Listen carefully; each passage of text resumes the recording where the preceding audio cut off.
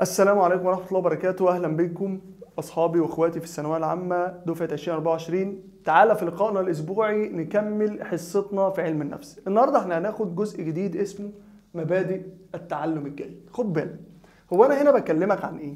أنا الدرس اسمه إيه؟ مبادئ التعلم يعني إيه كلمة مبادئ؟ مبادئ يعني قوانين أو قواعد الإيه؟ التعلم الجيد طب يعني إيه تعلم؟ تعالى بقى أقول لك. قال لك التعلم هو تغير في السلوك. يعني إيه تغير في السلوك؟ يعني معنى إن أنت اتعلمت يبقى أكيد سلوكك اتغير. بس يبقى التعلم هو إيه؟ تغيير في سلوك الإنسان. يعني أنا بالبلد ما كنتش بعرف أسوق بقيت أعرف أسوق.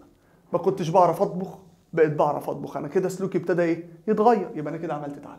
طيب هل التعلم ليه أو التعلم الجيد ليه قوانين؟ آه ليه خمس قوانين. أهو أول قانون اسمه الدافعيه تاني قانون اسمه التعزيز تالت قانون اسمه الدور الإيجابي للمتعلم رابع قانون اسمه الممارسة وخامس قانون اسمه اتقاء للتعلم ودول هناخدهم النهارده. تعال نبتدي بأول قانون عندك وهو الدافع. يعني إيه دافع؟ هسألك سؤال. الدافع قال لك لما جم يعرفوه قال لك هو قوة داخلية.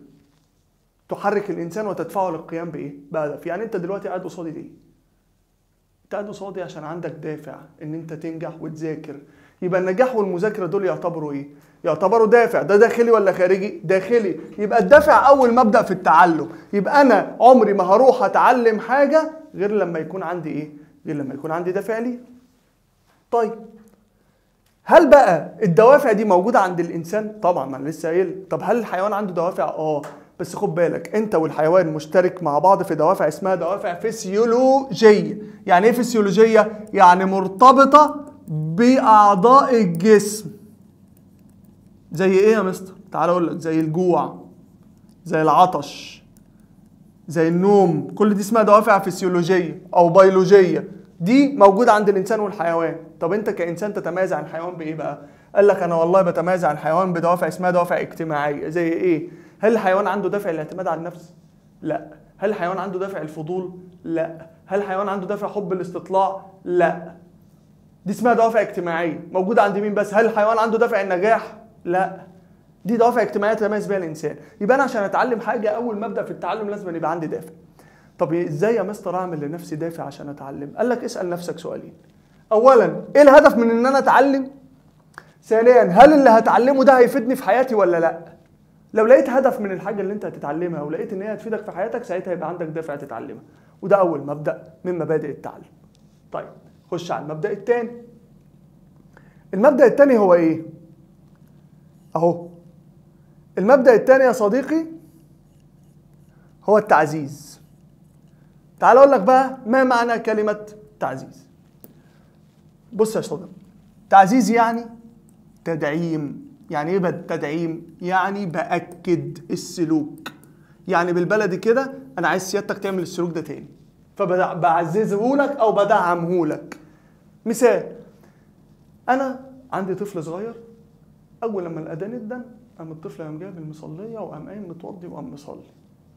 فأنا شفت الولد بيصلي قمت قايل له شاطر يا حبيبي خد أنا جبت لك حاجة كويسة وحاجة حلوة عشان سيادتك إيه؟ أو عشان أنت شاطر وصليت وعملت اللي عليك. عشان أنت إيه؟ كده انت جدع. أنا كده عملت إيه بقى؟ أنا كده عملت تعزيز عززته إديته إيه؟ إديته مكافأة. فبالتالي التعزيز هنا نوعين. في تعزيز إيجابي اللي هو الثواب ده بنقول عليه إيجابي. وفي تعزيز سلبي اللي هو العقاب بنقول عليه سلبي. إيه هو التعزيز الإيجابي؟ قال لك إن أنا بخلي الفرد أو الطفل يعمل السلوك تاني. بخليه يعمل السلوك تاني إزاي؟ إن أنا بدعمه وبعززه عن طريق المكافئات ده هيخليه بعد كده يشعر بإيه؟ بالرضا والارتياح. ويعمل السلوك ده تاني ويعمل السلوك ده تالت. طب العقاب العقاب ده اسمه تعزيز سلبي. قال لك خد بالك مش كل عقاب مضر لأن في عقاب بيمنع الإنسان من تكرار الخطأ تاني. يعني أنت سيادتك دلوقتي ابنك لعب بالكبريت اتلسع. هل لو أنت جيت بعد كده اديته الكبريت في إيده وقلت له خد يا حبيبي العب بيه هيرميه. ليه؟ لأنه شاف العقاب. فبالتالي مش كل عقاب سلبي لأن في عقاب بيمنع التكرار. يبقى بختار التعزيز إمتى؟ لو الموضوع فيه ثواب أو فيه عقاب في مكافئات أو في عقاب ومش كل عقاب سلبي. ده تاني مبدأ في التعلم إن أنا أعززك. لو عايز أخليك تكرر السلوك وتعمله تاني أعززك يعني أدعمك. نخش على المبدأ رقم ثلاثة المبدأ رقم ثلاثة اسمه الدور الإيجابي للمتعلم. بص يا صاحبي يعني إيه دور إيجابي للمتعلم؟ أنت سيادتك كمتعلم مش دورك تقعد سميع. يعني إيه سميع؟ يعني تقعد تسمع. لا. تدور تتفاعل معايا. يعني إيه؟ يعني لازم المتعلم يبقى ليه دور في التعلم. لازم الطالب يبقى ليه دور في التعلم. واللي عايز يتعلم لازم يبذل جهد. التعلم مش هيجي لك ويخبط الباب ويقول لك أنا أنا أنا جاي لك أهو. لا. لازم أنت تبذل مجهود عشان توصل أن أنت تتعلم. يبقى عشان أتعلم صح لازم يبقى ليا دور إيجابي. كمتعلم لازم يبقى ليا دور إيجابي. دور إيجابي ده اللي هو إيه؟ دور إيجابي اللي سيادتك تبذل جهد. طب كل ما بذلت جهد كل ما التعلم إيه اللي هيحصل له؟ التعلم هيزيد. يبقى علاقة بذل الجهد بالتعلم كده علاقة إيه؟ طردية. طب أبذل جهد إزاي؟ قال لك والله لخص الدرس. حضر أسئلة اقعد ناقش المدرس بتاعك اقعد اكتب ملخصاتك اقعد حل أسئلة كتير ناقش مدرسك. كل ده انت كده بتبذل جهد عشان تتعلم. كل ما بذلت جهد التعلم بتاعك هيبقى إيه؟ جدع 100 100 يبقى ثالث مبدأ من مبادئ التعلم اسمه الدور الإيجابي. يبقى أنا كده خدت الدافعية وخدت التعزيز اللي هو الثواب والعقاب وخدت الدور الإيجابي للمتعلم إن المتعلم يبذل إيه؟ يبذل مجهود. طيب خش معايا في الجزئية المبدأ الرابع. المبدأ الرابع اسمه إيه بقى؟ اسمه الممارسة والتعلم. ركز لي بقى في المبدأ ده كده. أنت عشان تتعلم حاجة يا صديقي لازم تمارسها. وعشان أمارسها العلماء قالوا في نوعين من الممارسة. إيه هما أدي واحد ممارسة موزعة وأدي اتنين ممارسة مركزة أو مكثفة. إيه الفرق بين دي ودي؟ بص الممارسة الموزعة إن أنت لما تيجي تمارس الحاجة اللي هتتعلمها مش هتمارسها مرة واحدة. هتقسمها على فترات وتحط في الفترات دي راحة. يعني لو أنا داخل أذاكر مادة معينة المادة دي أنا عارف إن أنا مثلا هقعد أذاكرها أربع ساعات. لو أنا دخلت خدت ساعة وريحت بعدها 10 دقايق وقمت واخد ساعة ومريح بعدها 10 دقايق وقمت واخد ساعة ومريح بعدها 10 دقايق يبقى أنا كده بحط راحة في النص. اللي أنا بعمله ده اسمه ممارسة موزعة. وزعت الشغل بتاعي. يبقى فترة العمل بتبقى إيه؟ فترة العمل بتبقى قصيرة وبتحط راحة في النص. دي اسمها موزعة. إنما المركزة لا. المركزة أنت تخش تدب الأربع ساعات ورا بعض. من غير ما تريح. دي اسمها ممارسة مكثفة أو مركزة. ما حطيتش راحة وفترة العمل كانت طويلة. يبقى مين اللي ما فيهاش راحة؟ المركزة. وفترة العمل فيها إيه؟ طويلة. طيب يا مستر هي كده مين اللي هتبقى أحسن؟ أنت شايف مين اللي هيبقى أحسن؟ الموزعة ولا المركزة؟ أكيد طبعا يا صديقي اللي هتبقى أحسن الموزعة. ليه يا مستر؟ أقول لك ليه؟ لأن أنت هنا حطيت راحة. أنت لما بتفصل في النص يعني أنا بديك حصة أربع ساعات. قلت لك لا يا عم أنا هشتغل معاك ساعتين وأديك بريك يبقى أنا كده عملت إيه؟ عملت ممارسة موزعة. أنا هنا حطيت راحة. تركيزك هيبقى أحسن ولا مش أحسن؟ طبعا أحسن. عشان كده العلماء لقوا إن الممارسة الموزعة أحسن من المركزه طيب السؤال اللي جاي. أنت وصاحبك وكل أصحابك هل لما تيجوا تاخدوا فترات راحة تاخدوها زي بعض. ولا كل واحد حسب قدرته كل واحد حسب قدراته العقلية. طبعا قال لك العمل بيفرق حسب قدراته العقلية للفرد. يعني أنا ممكن أجي بعد ساعة أفصل واحد تاني يجي بعد نص ساعة يفصل واحد تالت يجي بعد ساعة ونص يفصل يبقى في فروق. فبالتالي فترة الراحة تختلف من شخص لإيه؟ لآخر حسب الفروق الفردية. يبقى خد بالك مش كلنا هناخد نفس فترات الراحة لأن في اختلاف في القدرات وفي اختلاف في القدرات العقلية. فبالتالي في فوارق ما بيننا. عشان كده بص بيقول لك إيه؟ تختلف فترات الراحة باختلاف الفوارق بين الناس. مش كله هياخد راحة زي بعض طب ثلاثة تعرف إن أنت لو بتا... لو بتشتغل مثلا في حاجة والحاجة دي هتاخد راحة وبعد كده ترجع تكملها. تفرق لو انت بتشتغل في حاجة وهتاخد راحة وترجع تعمل حاجة غيرها. مثال لو أنا مثلا هذاكر نص عربي النص ده مكون من 20 بيت. أنا هعمل إيه؟ أنا قلت هعمل ممارسة موزعة. هحفظ 10 أبيات وبعد ما أحفظ 10 أبيات هريح وأرجع بعد الراحة أكمل ال10 أبيات. أنت كده راجع لنفس العمل اللي أنت كنت بتعمله قبل ما تريح. هل فترة العمل الراحة بتاعتك بقى تبقى طويلة ولا قصيرة؟ قال لك لو أنا هعمل عمل وهريح وهرجع له تاني خلي فترة الراحة قصيرة عشان ما تنساش. يبقى فترة الراحة بتبقى إيه؟ قصيرة. لو أنا هرجع لنفس العمل. طب لو رجع يا مستر لعمل مختلف؟ لا لو رجع لعمل مختلف ساعتها هتخلي فترة الراحة إيه؟ فترة الراحة طويلة. يعني أنا بذاكر عربي وهرجع أذاكر ماس. كده العمل مختلف. لا خلي فترة الراحة اللي في النص ما بينهم طويلة. يبقى إذا كان العمل مختلف تكون فترة الراحة أطول. يبقى دي الممارسة. يبقى أن اللي فيها راحة الموزعة اللي ما فيهاش راحة المركزة. هل الراحة بتختلف باختلاف الأفراد؟ آه. طب هل الراحة بتختلف باختلاف العمل؟ آه. لو راجع لنفس العمل خلي الراحة قصيرة. لو راجع لعمل مختلف خلي الراحة طويلة. آخر مبدأ من مبادئ التعلم وهو انتقال أثر التعلم. أهو. بص يا شباب يعني إيه انتقال أثر التعلم؟ هل التعلم بينتقل يا مستر؟ آه. بينتقل إزاي؟ أكتبها لك بالبلدي. حاجة تساعد في تعلم حاجة أخرى.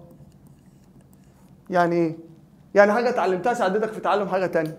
زي أنا مثلا اتعلمت ركوب العجل من صغري. ده ساعدني لما أكبر أعرف أسوق سكوتر. يبقى الحاجة دي ساعدتني في تعلم الحاجة دي. ده اسمه انتقال إيجابي للتعلم. يبقى التعلم قابل للانتقال يا مستر؟ آه قابل إزاي؟ لما حاجة اتعلمها تساعدني في تعلم إيه؟ حاجة أخرى. طيب زي مثلا أنا عندي في العربي أدب الدولة العباسي وعندي في التاريخ تاريخ الدولة العباسي. مش ممكن أنقل معلومات من هنا لهنا ومعلومات من هنا لهنا لأن في شبه ما بينهم؟ آه يبقى التعلم بيسي... بيزيد إمتى؟ التعلم بيزيد كفاءته إمتى؟ لو اللي أنا اتعلمته ده ساعدني أتعلم حاجة إيه؟ أخرى. بس في شروط. إيه الشروط؟ اولا لازم يبقى في علاقات بين الحاجتين. الحاجة اللي أنت هتنقلها مش في هنا شبه بين العربي في الدولة العباسي أدب الدولة العباسي في العربي والتاريخ في الدولة العباسيه أكيد الاثنين بيتكلموا عن الدولة العباسية يبقى في حاجة في شبه فدول ينفع أنقل التعلم ما بينهم. لكن ينفع أنقل مثلا التعلم بين عربي ومصري مفيش علاقة. يبقى لازم عشان أنقل التعلم والتعلم ينتقل لازم يبقى في علاقة بين الحاجتين اللي هنقل بينهم التعلم. تاني نقطة لازم يبقى في عناصر مشتركة وأوجه شبه.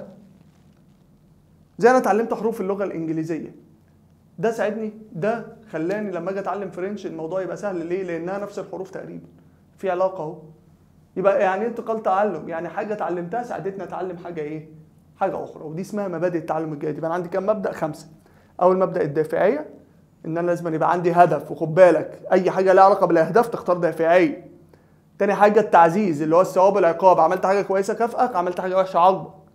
تالت حاجة الممارسة اللي هي الموزعة والمركزة. الموزعة فيها راحة المركزة ما فيهاش راحة. رابع حاجة الدور الإيجابي للمتعلم. أنت كمتعلم لازم تبذل جهد عشان التعلم بتاعك يزيد ما تقعدش بتسمع بس. وخامس حاجة اللي هي انتقال التعلم حاجة اتعلمتها ساعدتك في تعلم شيء إيه؟ شيء آخر. آخر حاجة معايا في الدرس وأبقى خلصت حاجة اسمها أسس الاستذكار الجيد. إزاي سيادتك تذاكر كويس؟ بص يا صاحبي انت عشان تذاكر كويس مذاكرتك معتمدة على أربع حاجات. الانتباه رقم واحد زيادة الرغبة في المذاكرة دي رقم اتنين. المشاركة النشطة رقم ثلاثة القراءة بالفهم رقم أربعة. أنا لو عملت الأربع حاجات دول قبل ما أذاكر أو وأنا بذاكر مذاكرتي تبقى ضن ومية مية طب يا مستر أنا عشان أذاكر أنت بتقول لي لازم أبقى منتبه. أنتبه إزاي؟ تعال أقول لك. أولا خصص وقت معين للمذاكرة. ما تجيش بعد يوم طويل تيجي في آخر اليوم تقول إيه ده؟ يا لهوي. ده أنا نسيت أذاكر. أنا هقعد أذاكر. ذاكر إيه يا حبيبي؟ ما أنت جهدك ضاع اليوم كله. فبالتالي عمرك ما هتبقى منتبه. يبقى عشان أعمل انتباه وأنا بذاكر أحدد وقت للمذاكره وأحسن وقت تذاكر فيه هو الوقت ال- اللي هو بيبتدي معاك من الساعة 3 لغاية الساعة 6 الصبح. ذهنك بيبقى صافي. تنام كده قبلها وتصحى تصلي الفجر وتقعد تذاكر كده لغاية 6 7 الصبح. تلاقي الدنيا كويسة.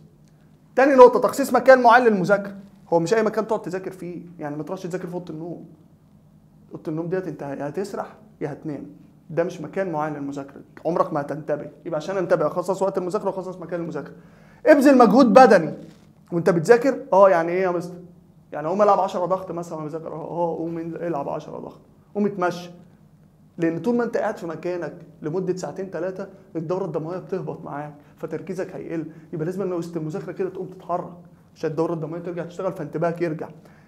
خد بالك من المعلومة اللي جاية دي. اوعى تذاكر في أماكن هادية تماما. ابعد عن المذاكرة في المكان الهادي خالص ده. ده هيعمل لك كارثة. يا يخليك تنام يا يخليك تسرح. غير كده لو أنت بقى داخل لجنة في آخر السنة واللجنة دي حصل فيها بس صوت بسيط. كل تركيزك راح. ليه؟ لأن سيادتك معود نفسك تذاكر لي في مكان هادي قوي ساعتها وأنت رايح بقى ماشي في المواصلات وعايز تراجع مش هتعرف تراجع.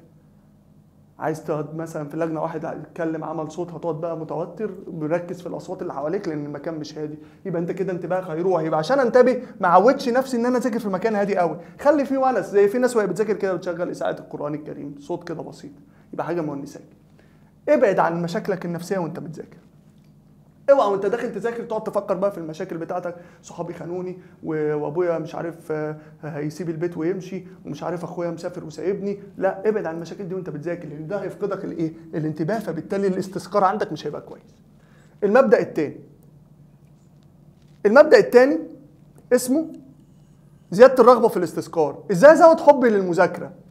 إيه ده هي المذاكرة بتتحب يا مستر؟ آه يا عم بتتحب إيه المشكلة؟ انت عشان تزود حبك للمذاكرة لازم سيادتك يبقى عندك إيه؟ دافع ليها. الدافع اللي هو الهدف. أنا بذاكر ليه؟ يبقى لازم عشان أزود حبي للمذاكرة يبقى في إيه؟ في دافعية. يبقى زيادة الرغبه في الاستذكار دي خد بالك مرتبطة بمبدأ الدافعية اللي إحنا لسه واخدينه. إن أنا يبقى عندي هدف. طب إزاي يا مستر أزود حبي للمذاكرة؟ أعمل إيه؟ اعمل ثلاث حاجات. اولا لازم تكون حاطط لنفسك هدف من المذاكرة. أنا بذاكر ليه؟ في ناس يا جماعة بتكتب مجموعة يقول لك أنا عايز أجيب مثلا آه، 99 مثلا عايز أجيب 98 وتلاقيه معلق المجموع ده على الحيطة. تلاقيه معلق المجموع ده على الحيطة ليه؟ عشان يقدر كل ما يخش يشوف المجموع يبقى عنده هدف عنده دافع إن هو يذاكر. اتنين اتنافس مع نفسك. يعني إيه اتنافس مع نفسي؟ أنا لو اتنافست مع نفسي حبي للمذاكرة يزيد. أنا جبت في الامتحان ده 10 من 20 لا أنا عايز الامتحان اللي جاي أجيب 20 من 20 يبقى أنا كده بنافس نفسي ساعتها رغبتي في المذاكرة هتزيد. ثلاثة حدد وقت لانتهاء المذاكرة. اوعى وانت داخل تذاكر تسيب التايم مفتوح. آه الحاج- الحاجة اللي هتقعد تذاكرها في ساعة هتذاكرها في ثلاث ساعات. خلي دايما في وقت محدد لانتهاء المذاكرة. أنا هخش أذاكر ساعة أو ساعتين وأحط stopwatch كده وأنا داخل الساعتين يخلصوا أنا أكون مخلص دي اسمها إيه؟ زيادة الرغبة في الاستذكار. يبقى أنا أزود رغبتي في الاستذكار بالثلاثه دول. أحط لنفسي هدف. يا إما أتنافس مع نفسي يا إما أخصص وقت. الحاجة رقم ثلاثة المشاركة النشطة. إزاي أنشط مذاكرتي يا مستر؟ وأنشط المعلومات إزاي؟ عايز تنشط معلومات وأنت بتذاكر؟ راجع. اعمل مراجعة اللي أنت خدته. يا إما تقعد تدون. تدون دوت اللي هو إيه؟ الكتابة. دون ملخصاتك وأسئلتك وملاحظاتك في ورقة خارجية. أنت كده بتنشط معلوماتك. ودي اسمها المشاركة النشطة. ودي ثالث مبدأ من مبادئ الاستذكار. آخر مبدأ معايا وأبقى خلصت الدرس مبدأ اسمه استخدام طرق القراءة. بص يا صديقي مفيش مذاكرة كويسة بدون قراية كويسة. قول لي يا مستر إحنا جهلة إحنا بنعرف نقرأ. لا قراية عن قراية تفرق. تعال أقول لك إيه طرق القراية الصح. أنت لما تيجي تذاكر درس لازم تستعرضه استعراض عام. وخد بالك من كلمة استعراض عام. يعني إيه استعراض عام؟ يعني بالبلدي كده آخد فكرة عن الدرس قبل ما قبل ما اذاكره يعني آخد فكرة عن الدرس. يعني أنا مثلا الدرس بتاعي اسمه إيه؟ اسمه اسس الإستذكار. أبتدي كده أبص على الدرس. آه ده الدرس دوت شكله بيتكلم عن المذاكرة وطرق المذاكرة. إزاي هنذاكر؟ يبقى أنا كده عملت إيه؟ يبقى أنا كده حددت الفكرة العامة بتاع الدرس. هقدر أعرف عشان لما أجي أذاكر أو لما أجي أبتدي أذاكر الدرس أبقى فاهم هو بيتكلم عن إيه. اتنين أربط المعلومات الجديدة بالقديمة. عايز تقرأ كويس؟ حاول تربط المعلومات اللي أنت خدتها بالمعلومات القديمة زي التاريخ كده. زي ما بتربط كده الثورة العربية بمحمد علي ب... بالحملة الفرنسية في ربط بين الأحداث. يبقى أنت لما تربط وتقرأ وتربط وأنت بتقرأ كده بتربط زي اللي بيقرأ كتاب أو قصة. تلاقيه بيربط بقى آه الفصل الثاني بالفصل الأول الحدث اللي حصل هنا وهنا. ثلاثة البحث عن المبادئ العامة التي تنظم التفاصيل والجزئيات إيه المبادئ العامة؟ اللي هي بالبلدي كده العناوين والعناصر الرئيسية في الدرس. لازم عينك تجيب العناوين والعناصر الرئيسية. في ناس يا جماعة ما بتقراش العنوان ما بتقراش العناصر الرئيسية. زي ده عنصر رئيسي أهو في تفاصيل وجزئيات أهي. لازم عينيا تجيب أنا بتكلم في إيه؟ العنوان يعني ينفع تقرأ كتاب من غير ما تعرف عنوانه؟ لا يبقى لازم عينيا تجيب التفاصيل والعناوين الرئيسية. واخر حاجة استخدام العادات الجيدة في القراءة مثل وقوع العين على الكلمة اللي بقراها. خلي عينك ماشية مع الكلمة لا تسبق عنها ولا تأخر عنها. وبكده يا صديقي يبقى أنا خلصت لك درس مبادئ التعلم الجيد وخلصنا حصة النهارده. إن شاء الله إحنا موجودين معاك في منصة ذا توب على مدار السنة. الجزء الأولاني اللي إحنا شرحناه ده ده الحصص المجانية. في حاجات كتيرة هتحصل جوه المنصة والحاجات ديت مش هتلاقيها اللي موجودة على اليوتيوب. إن شاء الله انتظر مفاجأة على المنصة بشغل جديد ومختلف خالص. كان معاكم مستر محمد مجدي دمتم بخير والسلام عليكم ورحمة الله وبركاته.